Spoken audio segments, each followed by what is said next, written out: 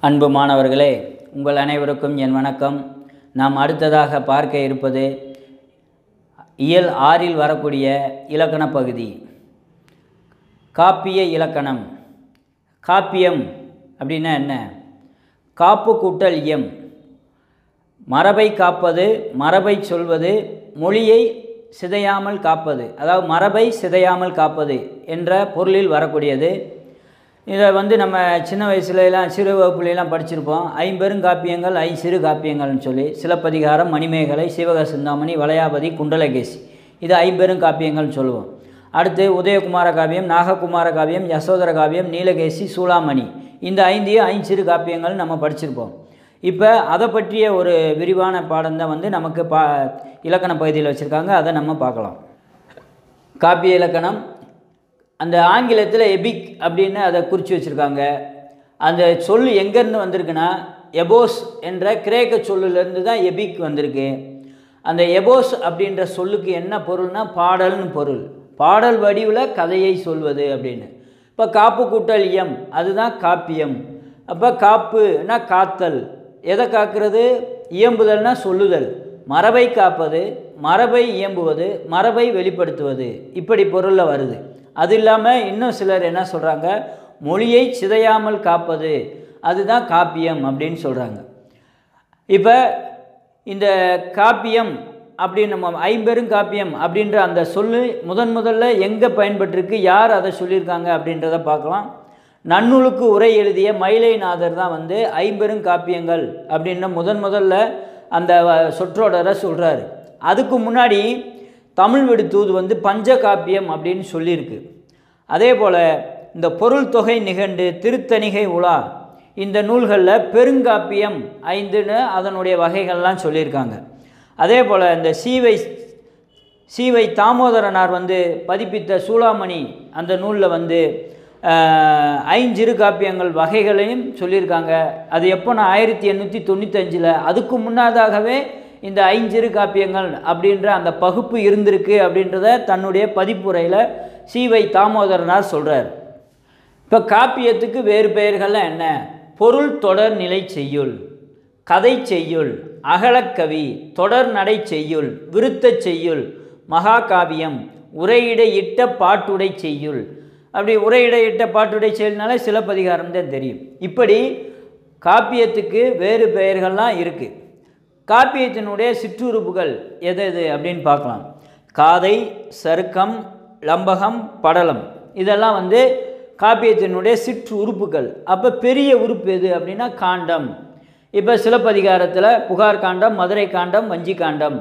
கம்பராமாயணத்தில் வந்து பாலகாண்டம் அயோத்தியா காண்டம் ஆரண்ய காண்டம் கிஷ்கிந்த காண்டம் சுந்தர காண்டம் யுத்த காண்டம் இப்படி பெரும்பிரிவு. காண்டம் அப்படின்னா பெரும்பிரிவு காதை சருக்கம் லம்பகம் படலம்னா உட்பிரிவு சிறுபிரிவு. அதுதான் காப்பியத்தினுடைய சிற்று உறுப்புகள் அப்படின்னு சொல்கிறாங்க இப்போ காதையில் அமைந்த இலக்கியங்கள் எது அப்படின்னு பார்த்தோம்னா சிலப்பதிகாரம் மணிமேகலை.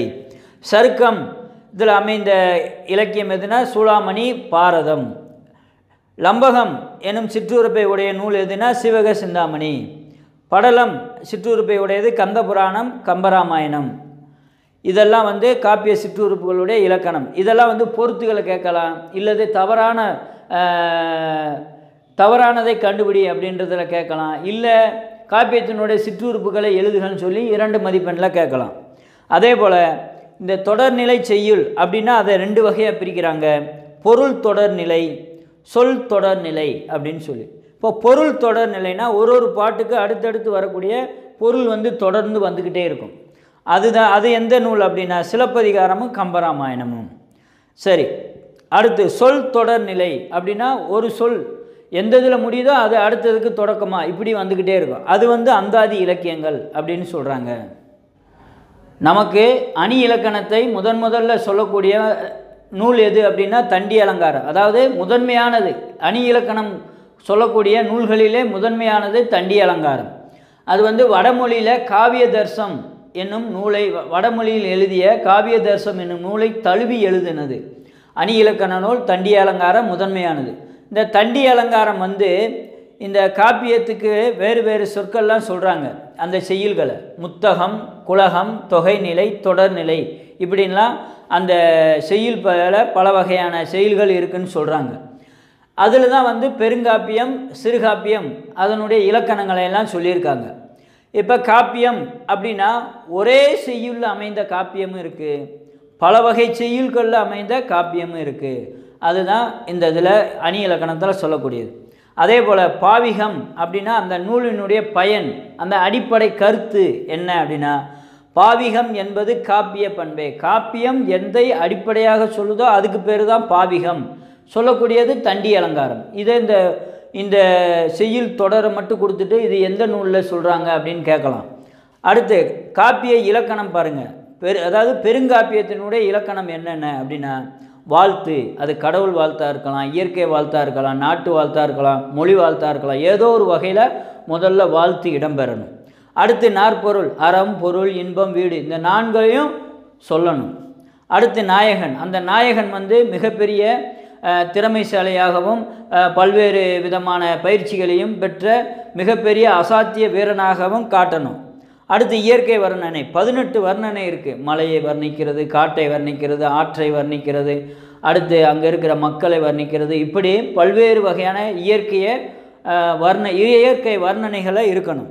அடுத்து அதுக்கடுத்து திருமணம் அந்த நாயகனுக்கு திருமணம் அவனுக்கு பிறக்கக்கூடிய குழந்தை அப்புறம் அவன் முடிசூடுதல் இப்படி அதை வந்து தொடர்ந்துக்கிட்டே இருக்கணும். பல்வேறு நிகழ்ச்சிகளையும் சொல்லணும். அதுக்கு அது இல்லாமல் இது இல்லாமல் அவனை சுற்றி உள்ள பல்வேறு நிகழ்ச்சிகளை சொல்லணும். எது எதுனா போருக்கு போகிறது தூது செல்வது வெற்றி வெற்றியை காண்பது வெற்றி குறித்து பேசுவது கலந்துரையாடுவது அணி போர்கை அணிவகுத்து நிற்பது இப்படி பல்வேறு நிகழ்ச்சிகள் அந்த இதில் வரணும். அந்த நூலில் வரணும். அடுத்து கதையின் போக்கு அதாவது தொடக்கம் வளர்ச்சி உச்சநிலை முடிவு அப்படின்னு இருக்கணும். ஆக அந்த கதை வந்து மெதுவாக தொடங்கணும் கொஞ்சம் கொஞ்சமாக வளர்ச்சி அடையணும் அப்படியே உச்சத்துக்கு போகணும் கிளைமேக்ஸ் அதுதான். அப்புறம் ஃபினிஷிங் எண்டு முடிவுக்கு வந்துடணும் இப்படி இருக்கணும். அதுக்கடுத்து உட்பிரிவுகள் இருக்கணும். ஏற்கனவே நம்ம சொன்னோம் காதை சருக்கம் படலம் லம்பகம் இது போல் உ உட்பிரிவுகள்லாம் இருக்கணும். அடுத்து எண் வகை மெய்ப்பாடு நகை நகை அழுகை இழிவரல் மறுக்கை உகை பெருமிதம். இது போன்ற எட்டு வகையான மெய்ப்பாடுகளையும் தோன்ற தோன்ற மாதிரி அந்த பாடல்கள்லாம் இருக்கணும் அப்படின்னு இப்படி ஒன்பது வகையான இலக்கணத்தை வந்து தண்டி அலங்காரம் காப் பெருங்காப்பியத்துக்கு வகுத்து வச்சுருக்காங்க. சிறுகாப்பியத்தினுடைய இலக்கணம் என்ன அப்படின்னா அறம் பொருள் இன்பம் வீடு. இந்த நான்கில் ஏதோ ஒன்றோ இரண்டோ குறைந்து வரலாம். இதுதான் சிறுகாப்பியத்தினுடைய இலக்கணம். அதுக்கடுத்து பாவிகம்ன்றது நம்ம ஏற்கனவே சொன்னதான் ஒரு நூலினுடைய அடிப்படை கருத்து. இப்போ பிறனில் விளைவோர் கிளை கிளையோடும் கெடுப. அடுத்தவன் மனைவி மீது ஆசைப்படுபவங்க தன்னுடைய உறவோடு சேர்ந்து கெடுவாங்க. அப்படின்னு சொல்லக்கூடியது வந்து அது எந்த நூலுக்கினுடைய அடிப்படை பண்புனா கம்பராமாயணத்தினுடைய அடிப்படை பண்பே இதுதான். அதே போல் சிலப்பதிகாரத்தின் அடிப்படை பண்பு பாருங்கள் அரசியல் பிழைத்தோருக்கு அறம் கூற்றாகும் உரைசால் பத்தினியை உயர்ந்தோர் ஏத்துவர் ஊழ்வினை உறுத்து வந்து ஊட்டும். இது வந்து சிலப்பதிகாரத்தினுடைய பாவிகம். அதுக்கடுத்து நமக்கு ஒரு சின்ன குறிப்பு கொடுத்துருக்காங்க பாருங்கள் விருத்தப்பாவில் அமைந்தது எந்தெந்த நூல்? அப்படின்னு கேட்கலாம். இரண்டு மதிப்பெண்ணில் வரலாம். சிவக சிந்தாமணி கம்பராமாயணம். பாட்டும் உரையும் பல வகை செய்யுளும் அமைந்தது எது? அப்படின்னா சிலப்பதிகாரம். ஒரு மொழியினுடைய வளத்தை குறிப்பது வந்து காப்பியங்கள் தான். காலந்தோறும் ஒவ்வொரு மா மாற்றங்களும் வந்துக்கிட்டே இருக்குது அந்த மாற்றத்துக்கு தகுந்தவாறு புது புதிய காப்பியங்கள் படைக்க வேண்டியது அன்றைய க புலவர்கள் கவிஞர்களுடைய கையில் இருக்குது அப்படி இந்த இருபதாம் நூற்றாண்டில் புதியதாக காப்பியம் படைத்தவர்கள் பட்டியலை நமக்கு கடைசியாக கொடுத்துருக்காங்க. அதை தான் நம்ம இப்போ பார்க்கலாம். பாரதியார் பாஞ்சாலி சபதம் குயில் பாட்டு அதாவது இந்த காப்பியம் அப்படின்றது நேரடியாகவே எழுதியிருக்கலாம் பிற நூல்களினுடைய தழுவலாக இருக்கலாம் அடுத்த மொழியிலேருந்து மொழிபெயர்த்ததாகவும் இருக்கலாம். அதனால் அது தவறில்லை. அந்த பட்டியலை பாருங்கள் இது குறுங்காப்பியம் குறுங்காவியம் அப்படின்னு கூட சொல்லலாம்.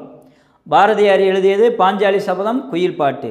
பாரதிதாசன் பாருங்கள் பாண்டியன் பரிசு தமிழச்சியின் கத்தி இருண்ட வீடு எதிர்பாராத முத்தம் சஞ்சீவி பர்வதத்தின் சாரல் வீரத்தாய் புரட்சி கவி. இதெல்லாம் பாரதிதாசன் எழுதிய குறுங்காப்பியங்கள். காவியம் கூட சொல்லலாம். கவிமணி வந்து மருமக்கள் வழி மான்மியம். கண்ணதாசன் வந்து ஆட்டனத்தி ஆதிமந்தி மாங்கனி இயேசு காவியம். அடுத்து கவியோகி சுத்தானந்த பாரதியார் எழுதியது பாரத சக்தி மகாகாவியம் புலவர் குழந்தை எழுதியது ராவண காவியம். இதெல்லாம் வந்து குறுங்காப்பியம் குறுங்காவியம்னு சொல்லலாம். இதெல்லாம் வந்து பொருத்துகளை கேட்கலாம். இல்லது இரண்டு மதிப்பெண்ணில் கேட்கலாம். மாணவர்களே இந்த காப்பிய இலக்கணத்திலிருந்து ஒரு மதிப்பெண் இரண்டு மதிப்பெண் பொருத்துக இதெல்லாம் வரும். மாணவர்கள் நன்கு படித்து ந- நல்ல மதிப்பெண் பெறுங்கள். நம்ம சேனலுக்கு புதிதாக வந்திருக்கிறவங்க நம்ம சேனலை சப்ஸ்கிரைப் பண்ணுங்கள் லைக் பண்ணுங்கள் உங்கள் நண்பர்களுக்கு ஷேர் பண்ணுங்கள் உங்களுடைய விமர்சனத்தை விமர்சன பதிவு விமர்சன பகுதியில் பதிவு பண்ணுங்கள் நன்றி.